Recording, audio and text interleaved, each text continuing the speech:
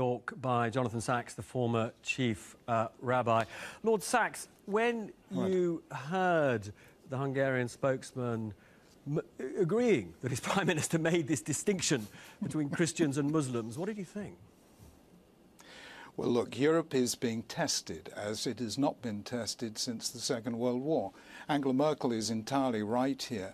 The European Union was created as a kind of way of saying we recognize human rights after the catastrophe of two world wars and the Holocaust. And it's very chilling to see some of these scenarios being reenacted. I don't want to make a direct comparison, but now is the time for humanitarian compassion to triumph over what seemed to me to be quite dark and dangerous remarks. I mean, in our lifetimes, have we seen in Europe a humanitarian crisis like this?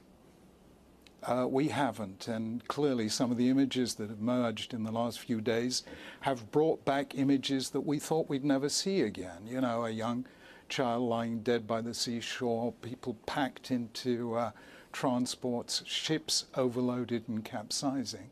These take our mind way back to uh, the Second World War, to the Holocaust.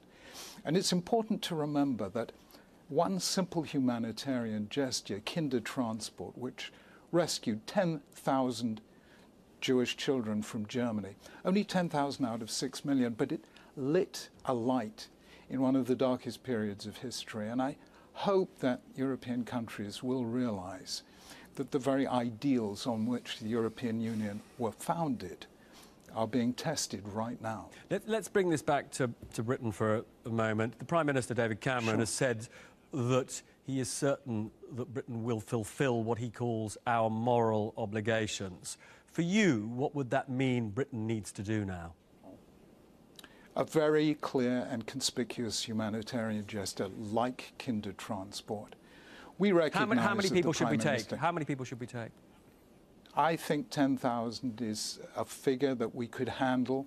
It's a figure to which Britain would respond. The churches, the religious groups, the charities would all join in, local uh, civic groups, and I think we'd be better for doing that. Germany is taking 800,000 migrants this year. We are taking a yeah. fraction of that. How do you feel about that? Well, look, there's no doubt that the primary burden is actually being felt by Turkey, by Lebanon, and by Jordan, who have taken huge numbers Germany is clearly wrestling with its past and showing that it has learned from its past, and it really is becoming a very signal of humanitarianism. I don't think we can go that far. But I think the British tradition of being a place of refuge for those who are at risk of their liberty and their lives should guide us now to being more generous rather than less so. Lord Sacks, many thanks.